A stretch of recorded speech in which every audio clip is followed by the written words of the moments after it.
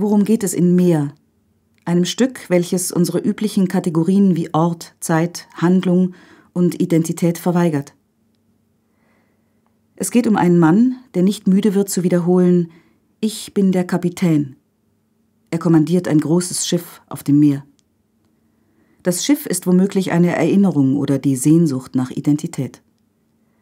Ein anderer Mann, der nicht müde wird zu behaupten, ich bin der Gitarrenspieler, spielt die schönste Musik auf einer Luftgitarre für alle, die sie hören wollen. Der Kapitän erkennt voll Freude in einem älteren Paar seine von ihm lange vermissten Eltern, sie jedoch sehen in ihm nicht ihren verlorenen Sohn und fürchten sich. Ein junger Mann beschwört eine junge Frau, dass sie ihn nie verlassen dürfe, weil sie einander nun endlich gefunden hätten, Sie aber fühlt sich magisch zu den Klängen einer Gitarre hingezogen, die er nicht hört. Ein älterer Mann erkennt seine eigene Frau nicht wieder und sagt, er habe alles Unbekannte satt. Obwohl die Figuren einander in ihren Wahrnehmungen oder Behauptungen grundlegend widersprechen und zutiefst verunsichern, haben sie eine gemeinsame Frage, die sie letztlich alle nicht beantworten können. Wo sind wir? Oder ist das hier woanders?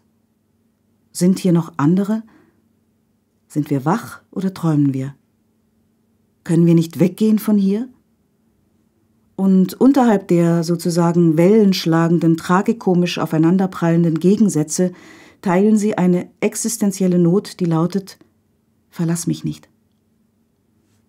Die archetypischen Figuren treiben zeitlos auf einem Weltmeer der Traumlogik, begegnen einander zwischen Erinnern und Vergessen, Dasein und Tod, Ort und Nichtort, Sprache und Schweigen.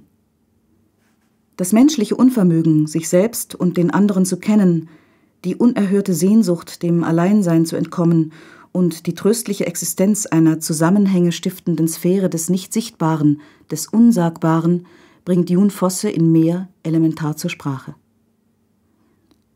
Der norwegische Gegenwartsautor beschreibt die Entstehung seiner Theaterfiguren folgendermaßen.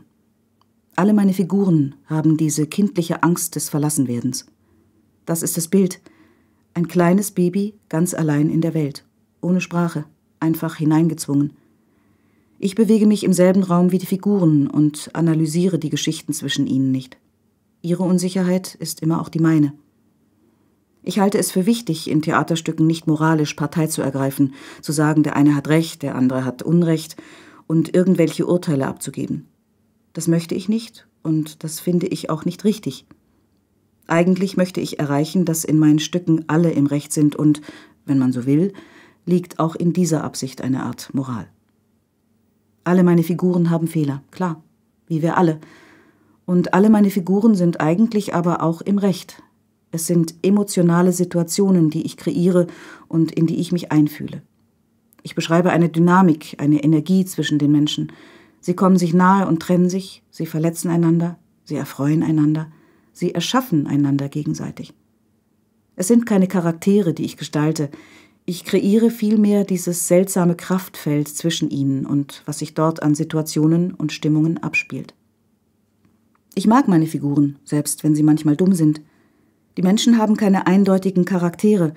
Ich will lieber die Beziehungen zwischen ihnen als ihr inneres Leben schildern.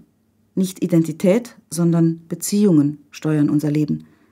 Und keine andere Kunstform außer dem Theater kann dieses soziale Spiel abbilden.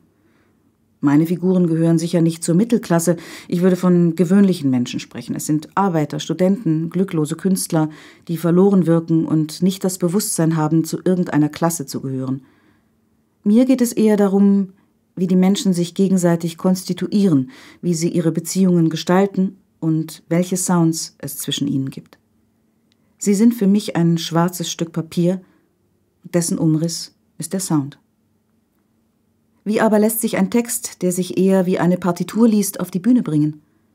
Was für einen Raum braucht so ein Stück, beziehungsweise welchen Ort verträgt ein Stück, welches die Verortung verweigert? Und wie sollen sich die Schauspieler auf der Bühne bewegen? Natürlich konkret, aber sitzen sie auf dem schwankenden Boot des Fährmanns Charon sind Sie bereits im Hades oder leben Sie noch? Die Bühnenbildnerin Muriel Gerstner hat dafür einen Raum erfunden, der auf den ersten Blick einem kunsthistorischen Museum ähnelt. An allen Wänden hängt jedoch dasselbe Bild. Es handelt sich um das Gemälde Flussmündung aus dem 17. Jahrhundert von dem holländischen Landschaftsmaler Jan van Goyen.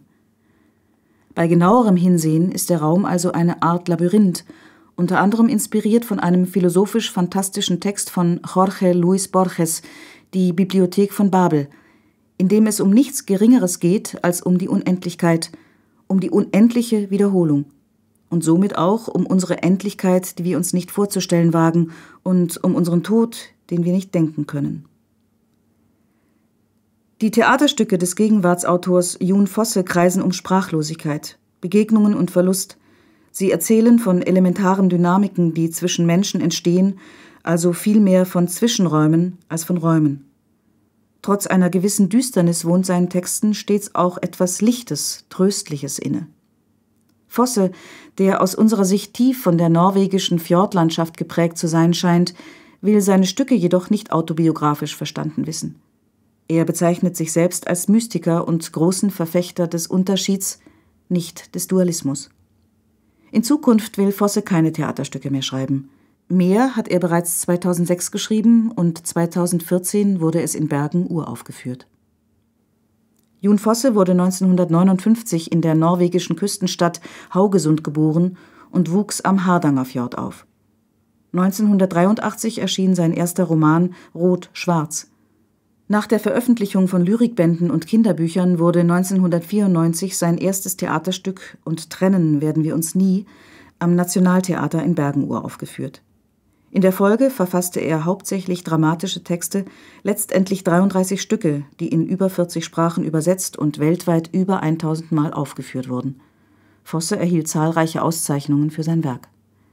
Neben Prosa verfasste er auch Opernlibretti wie beispielsweise Melancholia und Morgen und Abend, die jeweils auf der Grundlage seiner Romane entstanden sind.